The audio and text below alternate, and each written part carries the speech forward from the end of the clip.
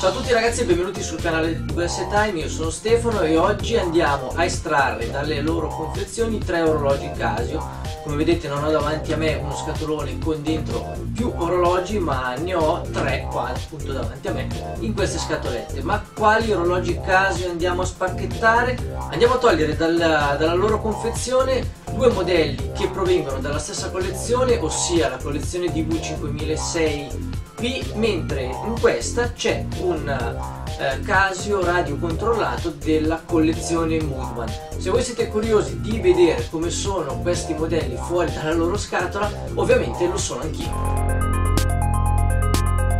Direi che questo possiamo lasciarlo per ultimo che è il modello che eh, diciamo è uno dei top di gamma della collezione Moodman se non addirittura il top di gamma andiamo a spacchettare prima questo che è il DV5006 P eh, codice 9 che corrisponde al colore giallo per quanto riguarda le colorazioni della Casio.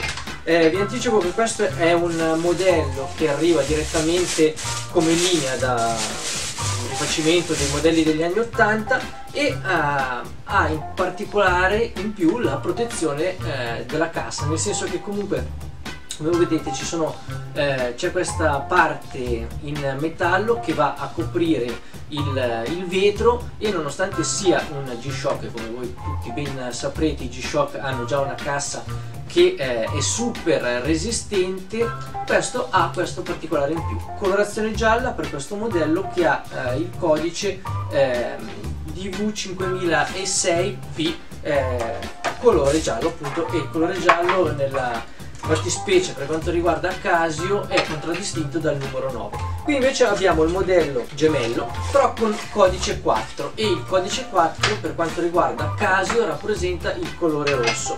Ho voluto andare a spacchettare tutti e due i modelli che provengono dalla stessa collezione così per farvi vedere le differenze nella colorazione. Quindi potete sapere già nel caso in cui vorreste acquistarlo se vi potrà piacere di più il colore giallo o il colore rosso.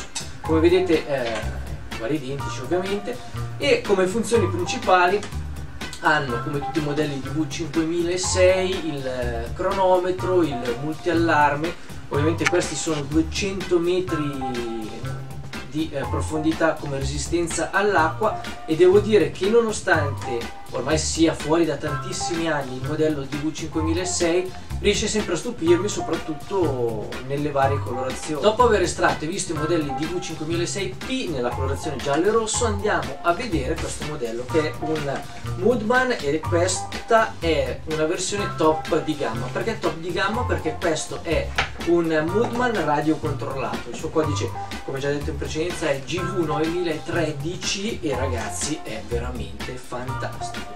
Questo è un gran bel pezzo.